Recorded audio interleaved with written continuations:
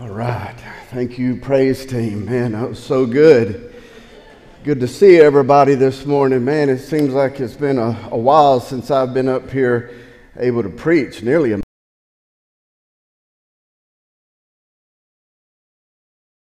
If you have a Bible with you, why don't you open up to Matthew chapter 11. Today we're going to be looking at a text that I believe is extremely relevant for us today. I mean, we all know that all of the Bible is timeless. It's all relevant. It all applies. But um, what we're looking at today, I think, is especially needed. I mean, let me just ask you. I mean, how many of you would say that you could use some good rest? And I don't mean just physical rest. Even more than that, I'm talking about mental, emotional rest, rest from stress. How many of you would like that? Yeah, I, I thought so. Because people right now, particularly in the United States, and I'm sure it's just the same in other parts of the world too, we are more stressed out than we have ever been. I read a, a, study that was done. The study was done about 10 years ago, and so the numbers have, have nearly doubled since then. But just 10 years ago, this study found that 45% of Americans say that they lie awake at night finding it hard to sleep just because their mind is racing and so many things that they're stressed out about that they're, they're thinking of. 36% report feeling nervous and anxious. 35% report anger and irritability, uh, easily set off and, and impatient. 34% fatigue due to the weight of stress that they're always carrying around. And for the younger generation, the numbers are even higher. The American Psychological Association sponsored a major study of Gen Z, which are all those that were born in or after 1997, and it found that 81% of Gen Zers say that they are stressed out about money, 77% stressed about work, 73% about violence and something catastrophic happening. And the list just goes on and on and on about the things that the younger generation says that they are stressed about. Health experts are concerned about the significant increase in, in all the, the medication that is being taken to, to, to try to alleviate these things. And why are they concerned? Because the number of prescriptions that are being written for dealing with things like stress and anxiety and depression has tripled over the last decade. Tripled. They're now saying that we are in an anxiety epidemic in this country. We're stressed out and in need of rest. For those of you who can relate and you say, Yeah, that, that's me, I'm pretty stressed out. The good news is you don't have to live that way forever. You can find rest of mind, rest of soul. And Jesus is going to show us how in this text this morning. And what's really good about it is that in order to eliminate the stress, it doesn't mean you have to eliminate all the things that cause you stress. The kind of rest that he offers is a rest even in the midst of what would be considered stressful situations. So let's look at the answer for living a stress free life today. Is that even possible? Well, Jesus believes that it is. So let's look at this. Matthew 11. I'm going to ask you to stand uh, in honor of God's word, starting in verse 25. At that time, Jesus said, I praise you, Father, Lord of heaven and earth, that you have hidden these things from the wise and intelligent and have revealed them to infants. Yes, Father, for this way was well pleasing in your sight. All things have been handed over to me by my Father, and no one knows the Son except the Father, nor does anyone know the Father except the Son, and anyone to whom the Son wills to reveal him. Come to me, all who are weary and heavy laden, and I will give you rest. Take my yoke upon you and learn from me, for I am gentle and humble in heart, and you will find rest for your souls. For my yoke is easy and my burden is light. Let's pray. God, I'm so grateful for your word this morning. And Lord, we know it is true. We know it is powerful. God, I pray that you would uh, display the power of your word. Lord, not the eloquence of my speaking or anything like that, but the power of your word. And Lord, you are a big God, so I'm going to ask for big things. Things like complete transformation. Things like um, this being a defining moment in somebody's life today. Lord, I'm even praying for salvation that those who don't know you that may be in here today will come to know you today. And so, God, I'm just asking you to have your way. In Jesus' name, amen.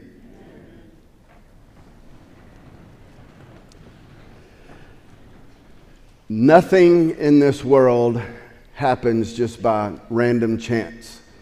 God is a God of order, design, and purpose. And He has ordered and designed everything to work according to certain laws and principles. The main one being the law of cause and effect. That means nothing happens just out of thin air without there being a reason for it. There is always a cause that produces some other effect. And I know that most of us know that that's how the world works. This is nothing new that I'm saying. But there is one area that I think that we either uh, forget about that or, or don't believe it applies, and that is to the area of the Christian life. So here's what I mean by that. I mean, we know that as Christians, there are things that are, we're supposed to be uh, walking in and experiencing, things that are available to us, like, like joy and peace and faith and even the rest that Jesus says that he offers here. But how exactly do we experience those things? It seems that many of us just kind of expect those things to fall on us like rain from the sky. It's like we assume that since we are in Christ, we should just automatically be experiencing and walking in all of those things. And so when we aren't experiencing those things, when we aren't living the abundant life that Jesus said that He came to give, now we think that there's something wrong with us, which just gives us one more thing to be stressed about. And some people are even doubting their salvation, whether or not they're really saved, because they're not really living in any of these things that are supposed to be available to Christians. But the truth is, those things don't just fall on us from the sky like rain. And rain would be a bad analogy because rain itself doesn't just appear out of nowhere. There are things that happened, had to happen in the atmosphere in order for the effect of rain to appear. And the same is true for rest. And here in this passage, Jesus is going to tell us how to get it. Think of it like a cake. I mean, we all know that a delicious cake just doesn't appear out of thin air. Somebody had to put the right ingredients together in just the right way. Putting those ingredients together, putting that in the oven, turning the oven on, that was the cause that produced the effect of a delicious cake. The same is true for rest. And Jesus in this text is going to give us the ingredients, the cause for us to experience the effect of rest. And the first thing he says is the main ingredient. Without this one, none of the others would even be possible. There in verse 28, he says, Come to me, all who are weary and heavy laden. The first thing we have to do to find and experience rest is to turn to Jesus for it. Now, I know that seems like that should be a no brainer, especially for, for Christians. But apparently it's not because there are so many of us Christians who are turning to things other than Jesus in order to alleviate the stress that we are dealing with. I know there's many of you, even in this room right here this morning or listening online, you're turning to things like alcohol, thinking that that buzz is going to alleviate the stress. Some of you are just spending hours and hours just playing video games just to get your mind off of those things that are causing you stress for the moment. Some deal with stress just by going to bed and pulling the covers over their head, thinking that they can just sleep off the stress. All sorts of things that we turn to other than Jesus. And so, my question would be for you how is that working for you? Because I would bet that it's probably not working out very well, and the stress is no less than it is without you doing those things. Though it might make you forget some of it for a moment, but once the buzz goes away, once the video game is over, once you get out of bed, that same stress is there for you to deal with again. And listen, I'm not judging anyone or trying to make it sound like I'm better than anybody else in this because there are things that I have a tendency to turn to other than Jesus when I'm feeling stressed. You know what my main outlet for that is? Work. I will busy myself with all kinds of work when I'm feeling stressed. If there's dishes piled up in the kitchen, I'll go do that. I'll go mow the yard. I'll go out in my shop and find something to do. Now, that doesn't mean that every time I work, it means I'm stressed. But if I am stressed, you'll usually find me doing something busy. I mean, even if I've got all the work done and there's nothing left to do, if I'm stressed, I'm going to go find something to do. I guess that's the only good thing about having a yard full of bahia. I mowed yesterday, and I promise you I could go out there and mow it again today because it grows so fast. And so that's something that I have a tendency to turn to other than Jesus. But when we do that, I mean, those things aren't really the remedy, they're band aids at best and a placebo at worst. Band aids because they just might cover up the stress for a little bit, but they don't alleviate it completely. A placebo, the placebo effect, believing that something is working when it actually isn't. And the more that we do that, the more we go down that slippery slope that leads to dependence and addiction. Jesus didn't say, Come out to the field, come to the TV, come to the liquor store, come to bed. He said, Come to me. Come to me if you're weary and heavy laden, and I will give you rest. Now, it's very important to know that we can't just stop there with verse 28. If we stop with verse 28, we could easily assume that rest is something that Jesus is just immediately going to give us the moment that we turn to Him. And this is another example of why context is so important. How I'm always telling you be careful of just pulling one verse out of a passage without taking all the verses around it into consideration. Rest is not something that you can just give someone any more than you can give someone laughter. I mean, you can do something that would cause laughter, but you can't just say, Here, here's some laughter. Just like you can't give pain to someone, but you can cause pain. You can't give pleasure, but you can do something that would cause the effect of pleasure in someone else. And the same is true with rest. And we know this is true if we keep reading just the next verse. He says there in verse 29 Take my yoke. If you're following along in the notes there, the first one is this rest is not something to be given, it's something to be learned. Learning rest is a process. It's not something that one suddenly discovers like finding a hidden treasure. But it's something that comes more slowly, the way that one would find knowledge. Nobody receives a lot of knowledge all at once. It's gained, it's learned slowly over time. And the same is true for this kind of rest. Learning rest is part of our growth process, part of our sanctification. I mean, those of you who, who tend a garden every year, you know that in order to produce a good harvest, you have to create the ideal environment for those plants to flourish. You can't just throw a seed on the ground and hope for the best. But I think that's exactly the way that many of us approach the Christian life. We just kind of throw out a prayer and hope for the best. Lord, take my stress away. Lord, quiet my mind and hope that that just miraculously happens all of a sudden. But you can't just throw out a prayer and hope for the best any more than you can just throw out a tomato seed and hope for a, a good harvest of tomatoes in a couple of months. You have to prepare the soil, you have to create the right environment for that to happen. And the same is true for rest it is a cause and effect.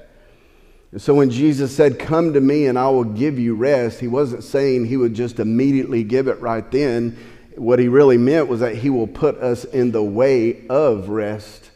He will teach us how to learn to rest. It means he would give us the ingredients for it and teach us how to create the right environment for rest to flourish. One of the causes, one of the ingredients for it, he gives right there. Before he said, Learn from me, he said, Take my yoke upon you. If you want to find rest, you have to take Jesus' yoke. What exactly does that mean? Well, Jesus intended for it to have a double meaning here. The first meaning is the most obvious one. We know that a, a yoke is a, a, a, wooden harness type thing that went over an animal's neck that was used for it to pull or, or carry a heavy load. But that doesn't sound very pleasant, does it? And then wearing a yoke doesn't sound like rest, that sounds like work. Sounds like the exact opposite of rest. Well, it does if you don't understand what the ultimate purpose of a yoke is. A yoke was made, the whole purpose of it was to lighten the load for that animal. It enabled the weight to be distributed in such a way that it wasn't near as, as heavy as if it, if, if it would have been if it hadn't had the, the yoke. And it enabled it to pull it for, for longer uh, periods of time. To attach an animal in any other way to a wagon or a plow or anything else without a yoke, the weight would be too much to bear and they wouldn't be able to work for very long. But the yoke is what made the work easier and they could last a lot longer. A yoke was not an instrument of torture, but an instrument of mercy. It was not meant to cause pain, but to alleviate pain. The other meaning that Jesus intended for using the analogy of a yoke had to do with Jewish culture back then. In the Jewish religion, each rabbi had his own interpretation of the Torah, the Old Covenant law, and would teach his, his students how to apply it. For example, there was the law that you couldn't work on the Sabbath day. Well, that's pretty vague. And so, what does it mean to work? What is considered work and what's not work? And so, each rabbi would interpret that. And some rabbis had a very strict interpretation, and others had a, a more loose interpretation. Each rabbi's interpretation and application of the law was called that rabbi's yoke. In Galatians 5:1, Paul is writing the letter to the Galatians, warning them on believing that you've got to go back and follow the old covenant law in order to remain saved. And he said, Jesus has set you free from the law. Therefore, do not be subject to a yoke of slavery all over again. And so Paul said that following the law was being bound to the yoke of slavery. It's that kind of yoke of a rabbi that he was referring to. Each rabbi back then also had a group of disciples, just like Jesus did. And those disciples would devote themselves to learning the teaching, learning the ways of that particular rabbi. And those disciples were said to be under that rabbi's yoke, under his way of teaching and living life. And so to follow and apply a rabbi's yoke meant learning how to live the way that he did, the way that he taught. And so Jesus is saying here, learn how to live by following me, by, by watching me. And so the next point there, when he said, take my yoke, he was saying, take my way of living. Take my way of living. Now it's important to note that nowhere in here does Jesus indicate that doing that, that taking his yoke, that living life his way means that life is going to be a lot easier. Taking his yoke, doing it his way, does not mean that bad things aren't going to happen, that suffering won't come, that, that life itself wouldn't be a burden. No, we still live in a broken world, and the brokenness of it means that life is going to be a heavy load that every one of us are going to have to pull from the cradle all the way to the grave. What Jesus is saying is that it, if we live life His way, that load is going to be a lot lighter than it would be without Him.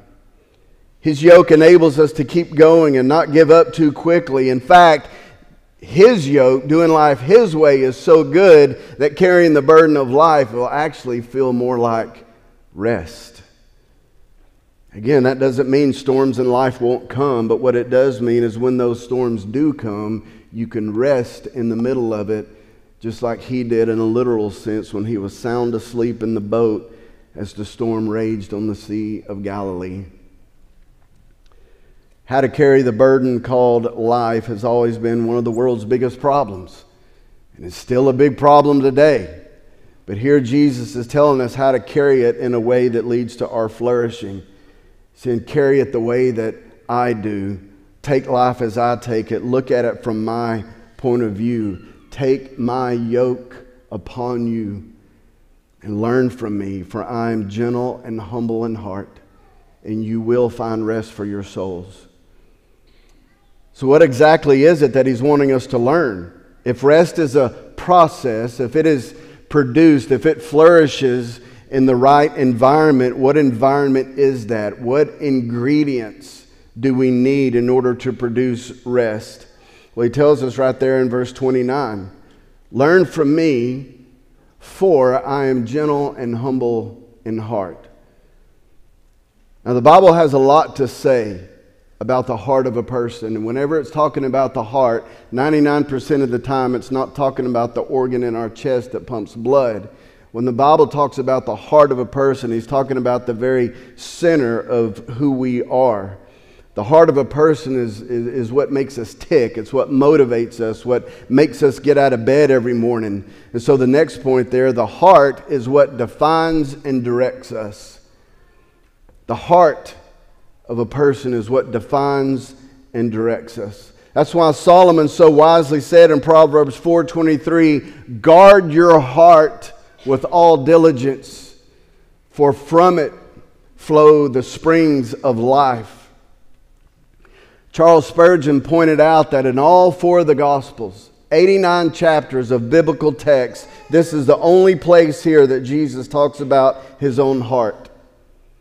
There's a lot that we learn about Jesus in all four of the Gospels. But this right here may be the most important thing to know about him. It's the only place where he opens up to us his heart, telling us the center of who he is. He's gentle and humble. Other translations say gentle and lowly, which is actually a better translation, so I'm just going to go with that one this morning. For Jesus to say that he is gentle doesn't mean that he is just this effeminate sissy. No, he was the ultimate man's man. But to say that he was gentle at heart means that he is not waiting around for us to mess up so he can knock us upside the head and get us back in line. You know, I hear people say things like that all the time. You know, they'll feel convicted about a message or something and say, Oh, man, Pastor Jason, boy, Jesus really hit me right between the eyes with a two by four this morning. No, he didn't. That is not who he is. He's gentle, which means, there in your notes, for him to be gentle at heart means he's not harsh, means he's not easily frustrated, means he's not impatient every time that you and I get it wrong. When we fall and get it wrong, he is none of those things which means he is the most graceful and understanding person in the whole universe. Listen, y'all, every time we fail, every time we fall in sin, Jesus' posture toward us is not one of a pointed finger. His posture is one of open arms, saying, Come to me. He's gentle at heart. The other word he used to describe who he is is lowly. The Greek word used there is it's not describing someone's uh, characteristic, their attitude or virtue, as in he's a real humble guy, although being humble is an element of it. Paul uses the same word in Romans 12 16 when he said, Do not be haughty in mind, but associate with the lowly. That means don't think for a second that you are better than anyone else, that anyone else is beneath you identify with those who are the socially unimpressive, the outcast, the ones that are different from everyone else. He's saying, don't identify with those who are always the life of the party. You identify with those who everyone rolls their eyes at when they show up to the party. It's being lowly. This is how Jesus describes the core of who he is. These aren't just two characteristics of Jesus this is who he is. Lowly, it means he's humble. It means not thinking you're better than others. Means dead to self. That's lowly. Jesus emptied himself taking the form of a bondservant all the way to the cross. One of the things this means is that he is accessible. With all his power and majesty and resplendent glory, even though all authority has been given to him in heaven and earth, and he sits at the right hand of the Father, ruling and reigning over his kingdom, he is the most accessible and approachable person in the whole universe. Which means there are no prerequisites to come to him.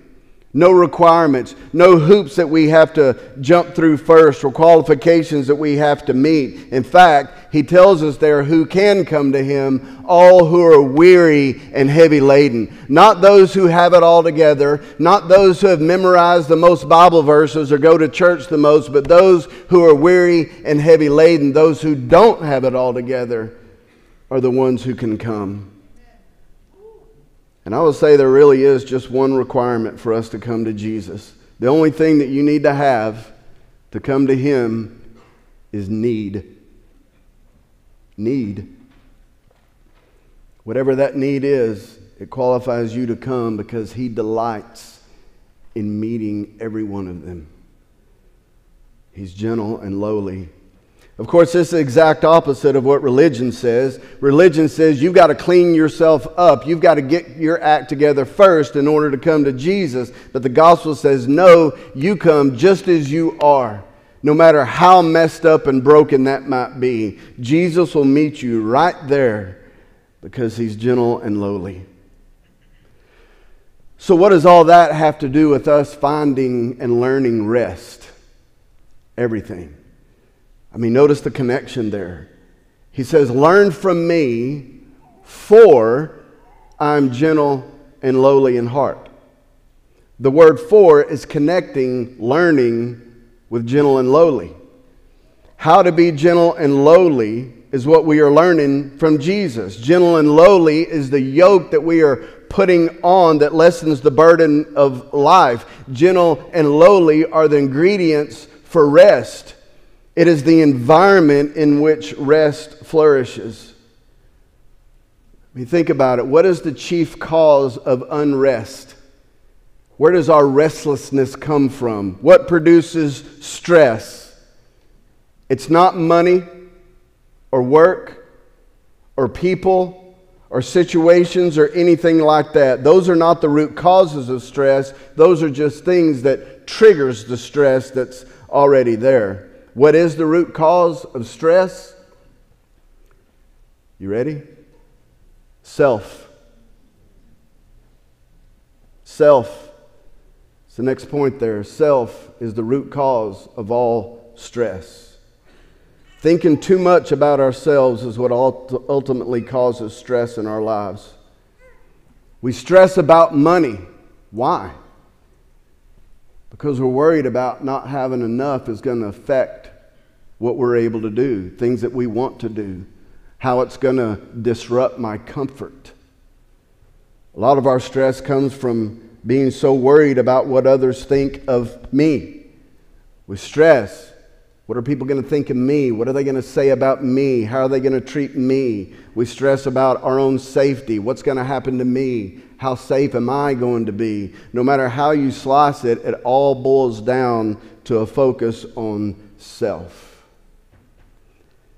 I mean, think about patience. Let me talk about patience for a minute because being impatient is a form of stress. It, it causes a lot of stress in our lives. And I hear people say all the time, I need more patience. It's one of the top requests I hear from people when you say, What, what can I pray for you about? Just pray that God will give me more patience.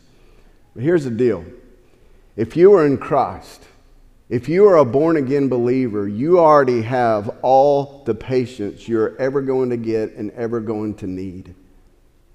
Why? Because patience is part of the fruit of the Spirit.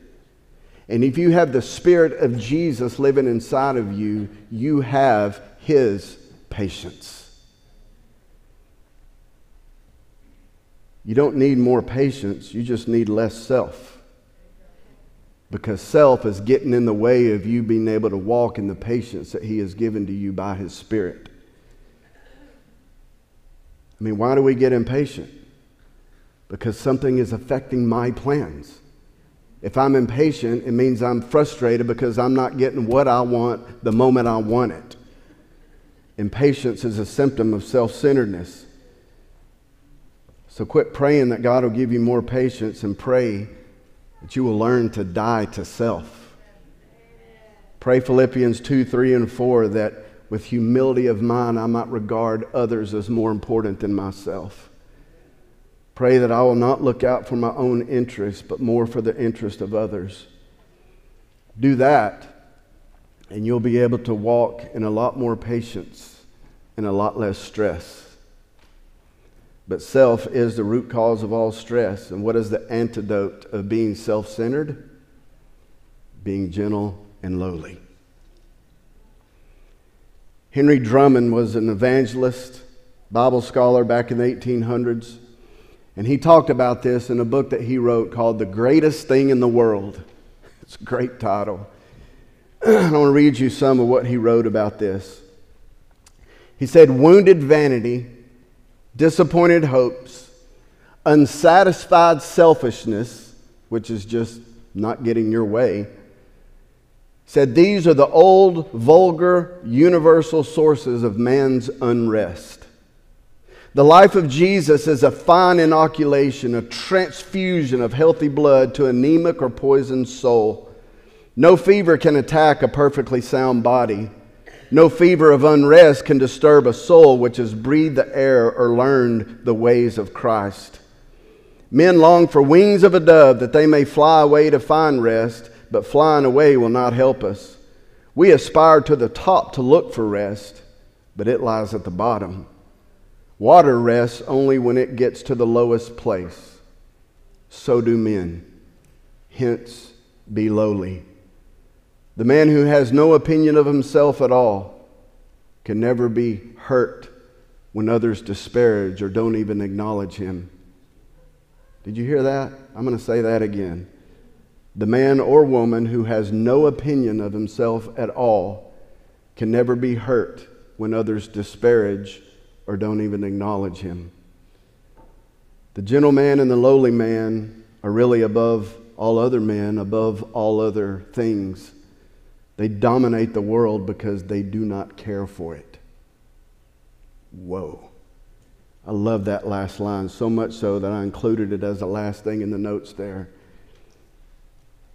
Those who are gentle and lowly dominate the world because they do not care for it.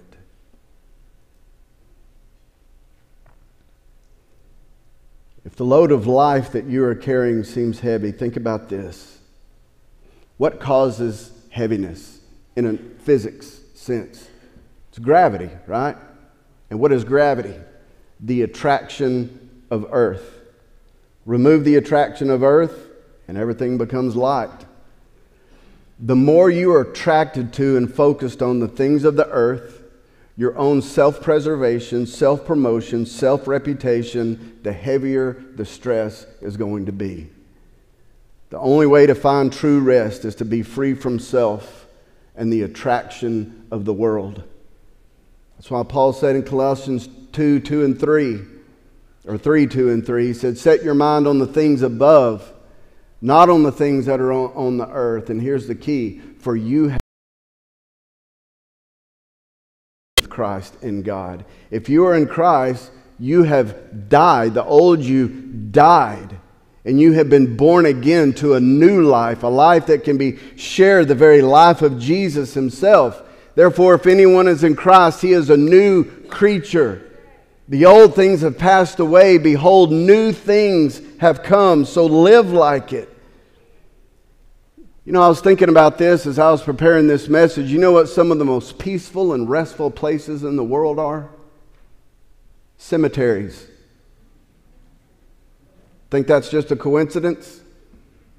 No, it's cause and effect. There's no stress there because the people are dead there. I think we as Christians could learn a lot from the dead and what it means for our old self to be dead in Christ. But some of us, like that song says, we're still tending the grave. We're still trying to bring that dead self up, playing weekend at Bernie's with it like it's still alive. No, it's dead. Leave it alone. Walk away from it. Die to self. When you're dead, you can't be any more humble and lowly than that. So, are you weary and heavy laden? Are you stressed and full of anxiety? Then come to Jesus. Quit turning to everything else and turn to Jesus. Take his yoke, his way of living upon you. Learn from him. Learn to live as someone who has emptied themselves, someone who has died. Learn how to live as gentle and lowly the way that he did. And again, God did not design or equip us to learn this by ourselves, to learn it on our own. We learn these things best in the context of community. It's learning how to live this way, how to be humble and lowly and gentle with other believers. It's what Jesus designed us for. And so do that. Learn that together, and you will find rest for your soul. Amen. Let's pray.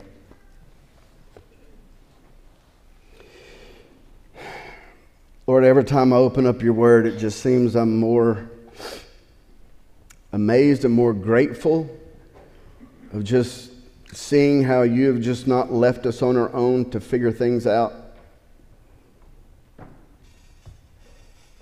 But Lord, you give us the way, the right way, the only way every time. It's just this display of your love you want to see us flourish and not flounder.